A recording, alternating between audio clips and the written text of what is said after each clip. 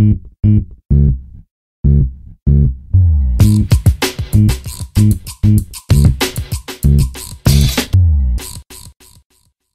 is de stad?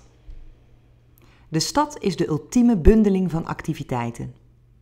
Allerlei praktijken geconcentreerd op een klein stukje grond. Wonen, werk, cultuur, criminaliteit, diversiteit, het zakenleven, winkelen, armoede, sociale uitsluiting, herdenkingen en feesten zijn verbonden door hectische verkeersstromen. Stedenbouwkundigen, planologen en beleidsmakers proberen uit alle macht wat orde in de chaos te brengen. Soms lukt dat, maar soms ook niet. Stadssociologen bestuderen die chaos. Dit is ons onderzoeksgebied. Maar waar begint de stad en waar houdt ze op? In deze kennisclip presenteren we een aantal veel gehanteerde benaderingswijzen om ons veld van onderzoek af te bakenen. De stad is een bundeling van menselijke samenlevingsvormen die niet exclusief is voor de metropool. Het verschil tussen stad en haar tegenhanger, die in de sociologie vaak wordt aangeduid als de regio, is dat samenlevingsvormen in de stad zo groot en geconcentreerd zijn dat sociologen vinden dat die vormen anders zijn vanwege de schaal waarop ze plaatsvinden. De schaal is dan de eerste manier om de stad te definiëren. Het gaat om de samenkomst van veel mensen en de vormen die ze vinden om daar op een ordelijke manier mee om te gaan. Maar niet alleen een grote schaal is voldoende om stad te hebben. Een uitgestrekte buitenwijk kan nog wel officieel tot de stad behoren, maar toch zien we daar andere stedelijke fenomenen dan in het centrum. Naast schaal gaat het dan ook om dichtheid. Hoeveel mensen zijn opeengepakt op een klein stukje land? Hoe is het verkeer geregeld? Hoe gaan ze om met alle prikkels die ze moeten verwerken in hele korte tijd? De dichtheid van bewoners en gebouwen in de stad zorgt ervoor dat mensen anders met elkaar omgaan.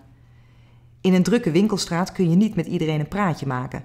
Op weg van college naar werk, naar een afspraak met vrienden of van je werk via de crash en de supermarkt naar huis, komt er van alles op je af. Filteren is de enige manier om daar goed mee om te gaan. En stadsbewoners worden daar snel heel bedreven in. Soms is hun gedrag bijna blasé. En dan is er ook de keerzijde.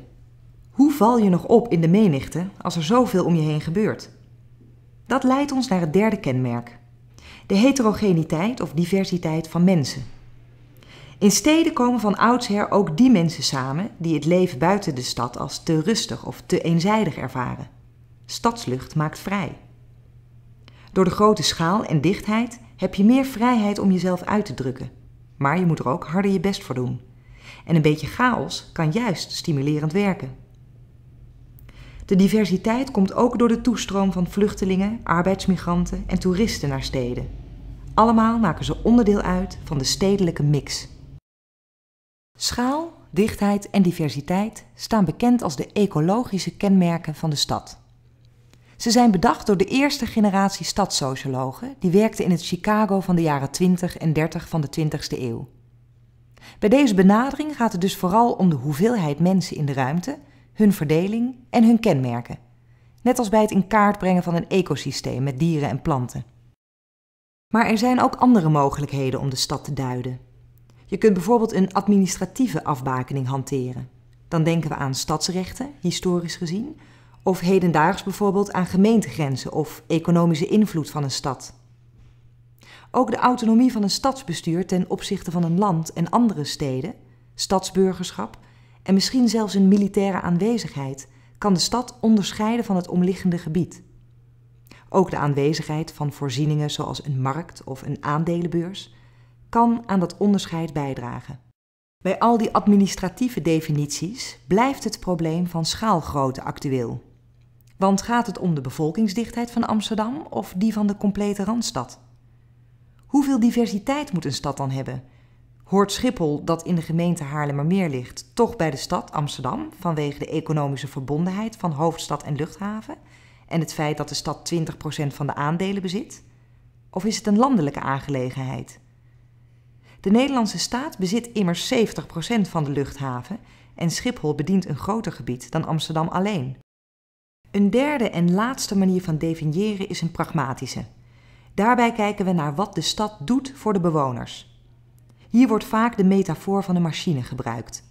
De stad is dan een machine om economische groei te realiseren. Of bijvoorbeeld een emancipatiemachine die gelijkheid schept.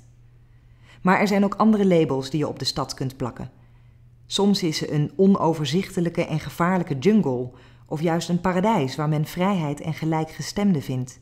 En zelfs het idee van de stad als App Store is al eens gelanceerd. Daarmee wordt het een plek waar voor elk wat wils te vinden is. Er zijn oneindig veel metaforen te verzinnen, maar wat deze benadering kenmerkt is dat er minder wordt gekeken naar direct aanwijsbare en meetbare kenmerken, zoals gemeentegrenzen of bevolkingsaantal. Centraal staat hier wat het effect van het stedelijke mengsel van activiteiten is op de bewoners, positief of negatief.